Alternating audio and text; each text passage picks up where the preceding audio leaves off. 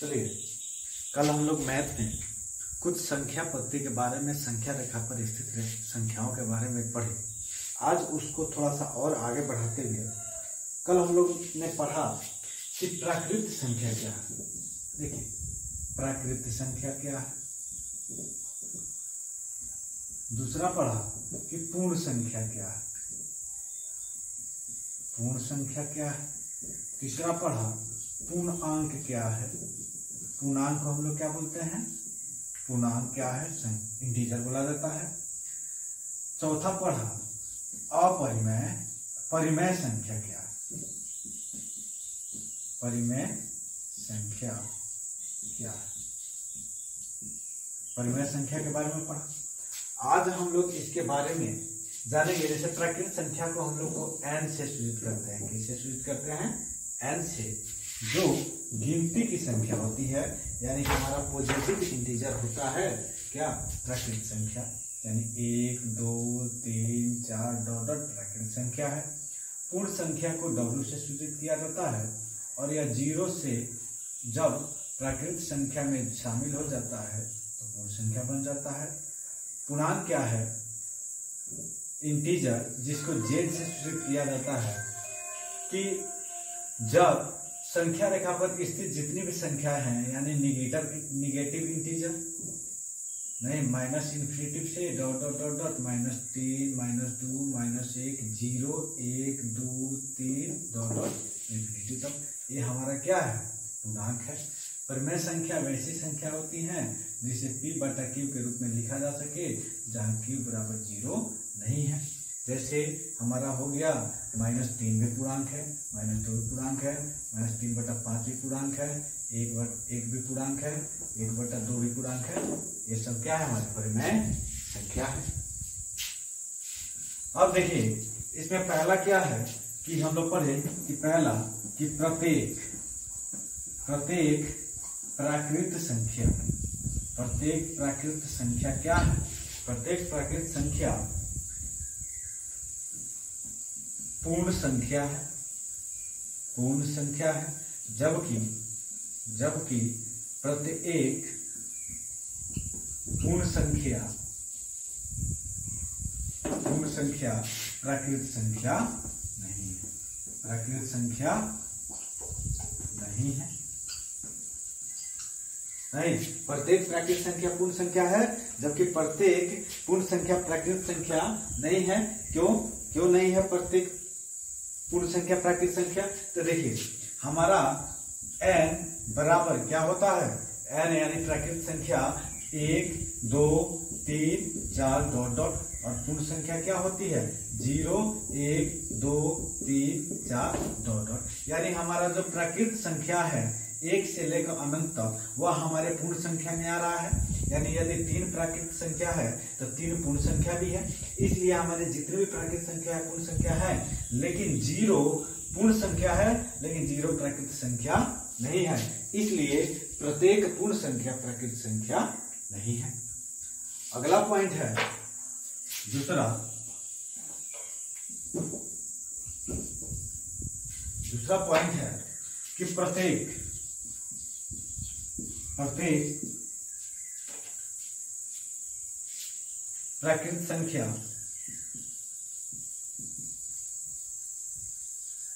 पूर्णांक है। पूर्णांक है जबकि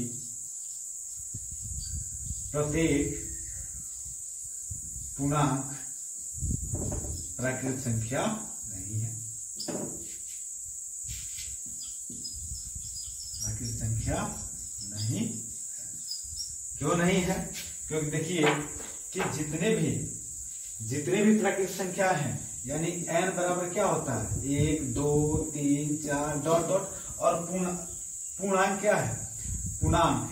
यानी इसको जेड से सूचित करते हैं, माइनस चार भी पूर्णांक है, माइनस तीन भी पूर्णांक है, माइनस दो भी है, माइनस एक भी है, ज़ीरो भी पूर्णांक है, एक, दो, तीन, ये सब क्या है? पूर्णांक है। तो देखिए, एक, दो, तीन, चार। एक, दो, तीन, चार। यानी प्राकृतिक संख्या आ गए, लेकिन माइनस तीन हमारा प्राकृतिक संख्या नहीं है। माइनस दो हमारा प्राकृतिक संख्या नहीं है। इसलिए कि जितने भी प्राकृतिक संख्या हैं, वह हमारे पूर्ण अंक के श्रेणी में आते हैं। लेकिन जितने भी बाकी पूर्ण संख्या, पूर्णांक है, वह प्राकृतिक संख्या की श्रेणी में नहीं आते हैं। इसलिए प्रत्येक प्राकृतिक संख्या पूर्णांक है, लेकिन प्रत्येक पूर्णांक प्राकृतिक संख्या नहीं है। और इसी तरह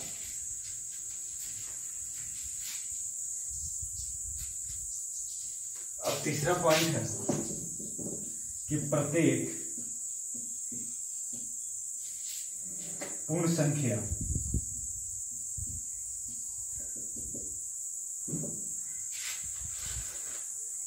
पूर्णांक है जबकि प्रत्येक पूर्णांक पूर्ण संख्या नहीं है क्यों? क्योंकि देखिए संख्या रेखा पर ज़ीरो, एक, दो, तीन, चार, डॉट डॉट। माइनस एक, माइनस दो, माइनस तीन, माइनस चार, डॉट डॉट। यानी संख्या रेखा पर जितनी भी संख्या होती है, सभी संख्या क्या है? पूर्णांक है। सभी संख्या क्या है? पूर्णांक है। माइनस चार भी पूर्णांक है, चार भी पूर्णांक है। माइनस तीन भी पूर्णांक है, तीन भी पूर्णांक है। लेकिन ज़ीरो से दाहिने की तरफ़ जितने भी पॉजिटिव इंटीजर है, वे सभी क्या है? वे सभी पूर्ण संख्या है। नहीं, यानी पूर्ण संख्या जो है, पूर्णांक के श्रेणी में आते हैं, लेकिन सभी पूर्णांक जो है, जैसे माइनस दो माइनस तीन माइनस चार माइनस एक माइनस दस, ये सभी क्या पूर्णांक है यह पूर्ण संख्या की श्रेणी में नहीं आते हैं। इसलिए प्रत्येक पूर्ण संख्या क्या है? पूर्णांक है, जो क्योंकि प्रत्येक पूर्णांक, पूर्ण संख्या नहीं है। अब चौथा। कल पढ़े परिमेय संख्या के बारे में। कि परिमेय संख्या किसे कहते हैं वैसी संख्या जिसे पी बटा के रूप में लिखा जा सके, उसे परिमेय संख्या कहते हैं। तो देखिए, प्रत्येक प्राकृतिक संख्या, प्रत्येक प्राकृत संख्या संख्या, परिमेय संख्या है। परिमेय संख्या, लेकिन लेकिन प्रत्येक परिमेय संख्या प्राकृत संख्या नहीं है। कैसे? तो देखिए, प्रत्येक प्राकृत संख्या, यानी एक भी हमारा प्राकृत है, दो प्राकृत है, तीन, सौ, पाँच सौ, ये सब क्या है? प्राकृत संख्या है। और ये सभी क्या है? ये सभी क्या है? सबके नीचे बट्टा में एक है, यानी पी बट्टा क्यू के रूप में है, यानी ये सभी परिमेय संख्या की श्रेणी में आते हैं। लेकिन लेकिन माइनस पाँच बट्टा तीन, माइनस आठ बट्टा तीन ये सब क्या है? ये सभी जो है, परिमेय संख्या है, क्योंकि पी बटा क्यू के रूप में है। लेकिन माइनस क्या है? निगेटिव इंटीजर है। नहीं, इसलिए यह प्राकृतिक संख्या नहीं है। इसलिए सभी प्राकृतिक संख्या परिमेय संख्या होती है, लेकिन सभी परिमेय संख्या प्राकृतिक संख्या नहीं होती। अगला है।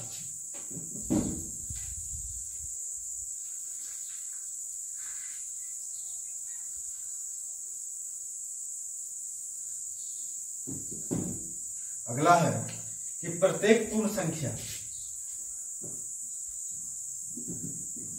प्रत्येक पूर्ण संख्या एक परिमेय संख्या है। जबकि प्रत्येक परिमेय संख्या पूर्ण संख्या नहीं है। पूर्ण संख्या नहीं है। देखिए प्रत्येक पूर्ण संख्या। यानी जितनी भी पूर्ण संख्या है, वे सब क्या है? परिमेय संख्या है, क्योंकि उसे पी बाटा क्यू के रूप में लिखा जा सकता है। जैसे ज़ीरो भी परिमेय संख्या, अपूर्ण संख्या है, एक भी, दो भी दो डॉट अनंत तक की संख्या क्या है? पूर्ण संख्या है। यानी सबके अंश में, हर में कुछ नहीं तो क्या है? एक है, यानी सबको पी बाटा क्यू के रूप में लिखा जा सकता है। इसलिए प्रत्येक पूर्ण संख्या परिमेय संख्या है। लेकिन वही यदि माइनस तीन हो जाए माइनस दो हो जाए माइनस पंद्रह हो जाए तो ये सभी क्या है? परिमेय संख्या है, लेकिन यह पूर्ण संख्या नहीं है। इसलिए प्रत्येक पूर्ण संख्या परिमेय संख्या है, लेकिन प्रत्येक परिमेय संख्या पूर्ण संख्या नहीं है। अब अगला है।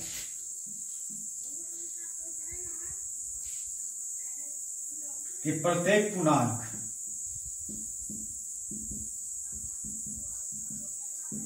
प्रत्येक पूर्णांक बराबर परिमेय संख्या है।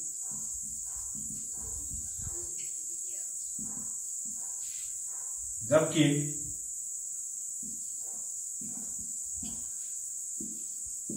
प्रत्येक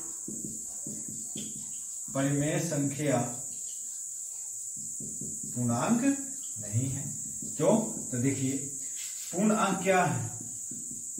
पूर्णांक, जैसे माइनस तीन हो गया, माइनस दस हो गया, जैसे एक हो गया, दस हो गया, पंद्रह हो गया, दो सौ सत्रह हो गया, ये सब क्या है? पूर्णांक है। और यह सब जो है, परिमेय संख्या है, क्योंकि सबके हर में क्या है? एक है।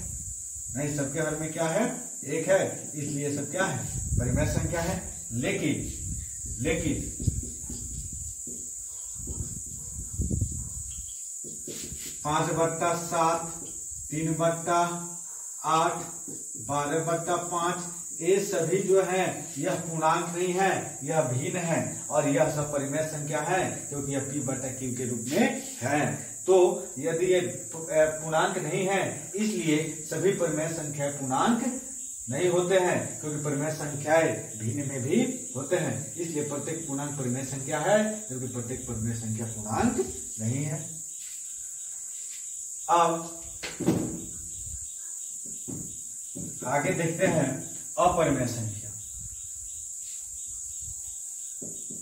अपरिमेय संख्या